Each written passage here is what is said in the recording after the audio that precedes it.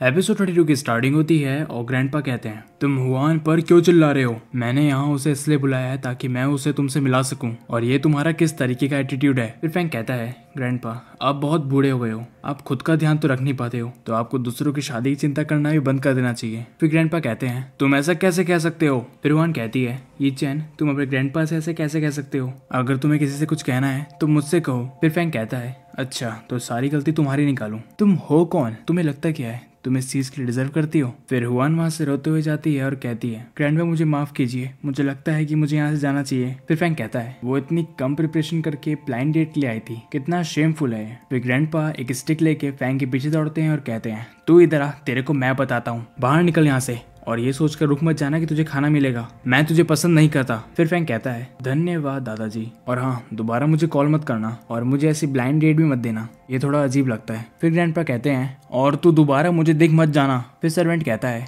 Master, ध्यान से। सबसे पहले आप अपनी सेहत का ध्यान रखिए। फिर ग्रैंड कहते हैं, क्या मैंने इसे ब्लाइंड डेट देख कर की गलती करी? इसने जिस बच्चे को ढूंढा है, उसके साथ उसने 24 घंटे बिताए। इससे शादी करने का ऐसे में कौन सोचेगा? फिर सर्वेंट कहता है मास्टर, शांत हो जाइए। आपको ऐसा नहीं लगता कि इन्होंने जिस बच्चे को ढूंढा है, वो दिखने में बिल्कुल इनकी तरह ही है? फिर ग्रैंड कहते हैं, बिल्कुल उसकी तरह। क्या ऐसा कोई चांस है कि वो उसका बेटा हो सकता है? किसी दिन उस बच्चे को यहाँ लाने की कोशिश करो। मैं उससे मिलना चाहता हूँ। फिर सर्वेंट कहता है, ये तो मुश्किल होगा क्योंकि यंग मास्टर खुद बहुत ध्यान से उसकी केयर करते हैं। फिर ग्रैंडपा कहते हैं तो फिर चुपके से उसे ले आओ। पर मुझे उस बच्चे को देखना है। फिर ग्रैंड मन में कहते हैं, अगर वो सच में ये चैन का बच्चा निकला तो इसका मतलब ये है कि मेरे पास एक महान पोता है। फिर फ्रैंक अपने घर आ जाता है और कहता है, रोहिशी कहाँ पर है? हम रोहिशी को ऋषि कहेंगे। फिर सर्वेंट कहती है, वो लिविंग रूम में पढ़ रहे हैं। फिर फ्रैंक कहता है, ठीक है। और फिर हमें ऋषि दिखता है। फिर फ्रैंक लिविंग रूम में जाता है और ऋषि को बुलाता है। फिर ऋषि कहता है, डैड, आप वापस आ गए? फिर फ्रैंक कहता है ऋषि,